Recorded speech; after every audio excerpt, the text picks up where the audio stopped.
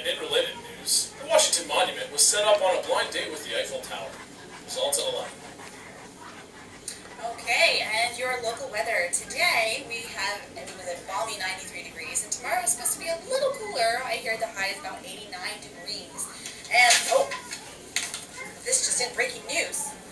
Um, it seems that authorities have just confirmed that the alarms today were from a partial nuclear meltdown from the reactor at Three Mile.